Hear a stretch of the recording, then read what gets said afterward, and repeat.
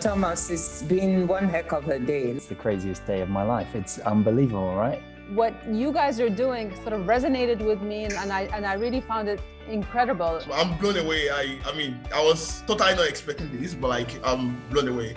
I just want you to know, as the final 15, all of you um, have got such brilliant ideas.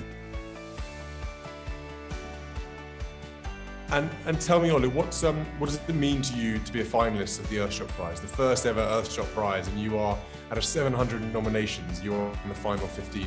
It means it means everything. It's so nice to meet you both. Thank you so much. I was so excited to hear about your project. How wonderful to meet you. How exciting. Indra, so nice to meet you. You're such a legend. All the legends of the future. Ah, Hindou. Hindou. Votre projet est de regarder et euh, en plus, bon, c'est ma sous-région. We are all excited you're one of the nominees. Thank you so much. 先またあのアーショット賞のファイナリストに選定されたことおめでとうございます。ありがとうございます。Thank you so much and congratulations. Really, really glad to meet you. I was, uh, it was really great to actually see you as one of the Prize Council members. I was like, yes, represent. I think this is just a really great way for us to kind of tip our hats to you for all the hard work that you're doing in this space. I do hope that uh, the prize can help us uh, reach out to more communities and work together. I'm coming from a nomadic pastoralist communities and who are cattle herders, and then uh, we are seeing the climate change impact in our eyes. Yeah, yeah. So really glad to be part of the team that is creating change here. You know, I had a father that believed in this kind of approach, you know, in just uh, restoring and planting.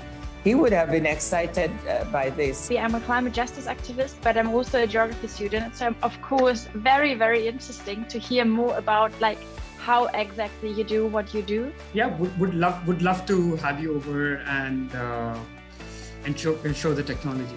Yeah, if ever in uh, Kenya or India or California, do do let us know. The heart and soul of the Earthshot Prize is, is around people finding ways of, of coming together. We like to have the whole team present, so we're, we're glad we were able to all join. You're on the front lines of protecting our uh, marine life and biodiversity. We look forward to uh, planting coral with you one day soon, we hope. Yeah. No, likewise. Hopefully, we can bring living seawalls to Fiji. Yeah. Fingers crossed. I'm really happy that you came to talk to me today. I was really hoping it would be you, and it feels like my wishes came true. If we can inspire that change um, elsewhere, inspire others to, you know, do what we're doing, to, to do something even more innovative. Well, I, I think you know that just by being finalists in the Earthshot Prize, you already will be inspirational to so many people across the world.